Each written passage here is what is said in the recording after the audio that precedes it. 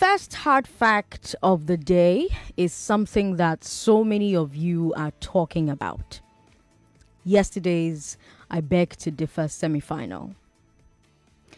I want to start by saying bravo to both debaters. It was one of the best debates we have witnessed here on I Beg to Differ.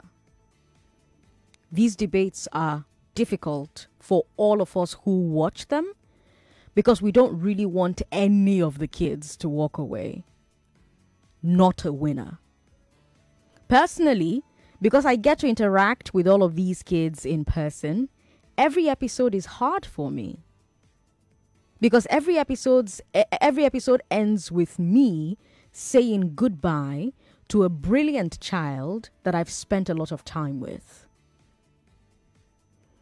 I hope that in all our conversations, we can always remember that in every debate, there are two children, both of whom are hearing, seeing, and reading everything that we say. But I'm also listening, Lagos. I listen to you. I listen to you because I beg to differ wouldn't be where it is without you.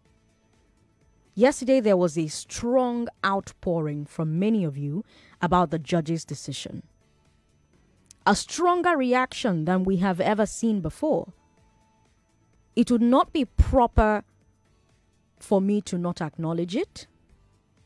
It would also not have been proper for me and the team not to look closely at what you are saying and review the events of the debate. I know that you spoke out because you care about I Beg to Differ and you are deeply invested, and I thank you for that. You care about I Beg to Differ because of these children, but you also care about I Beg to Differ because of the rules and the process.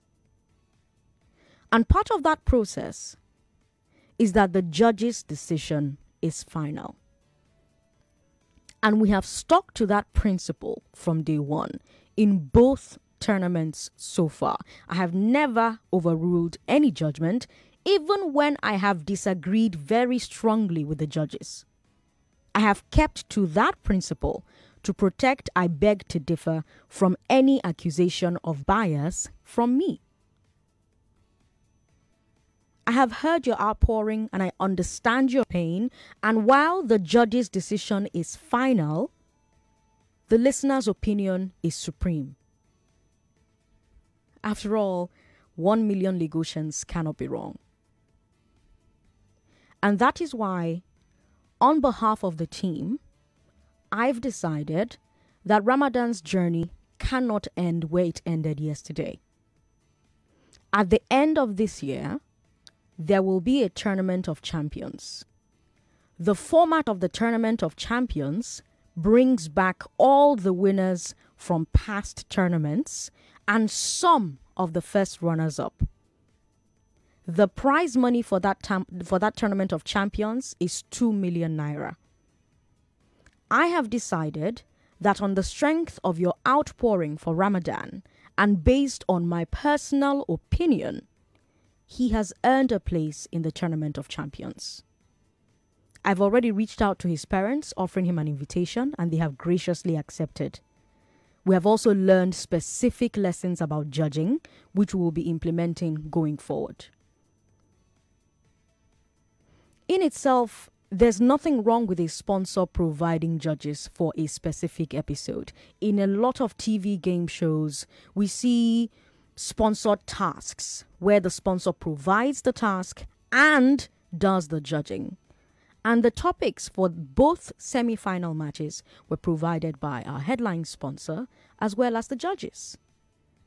However, going forward, no matter what, we will always have some of our team of regular judges participating in sponsored matches.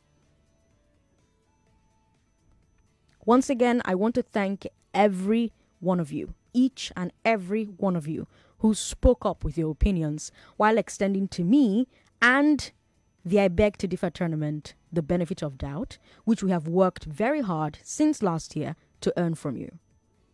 I think yesterday is a testament to the very high standard of judging that we have set, debate after debate, in the two editions.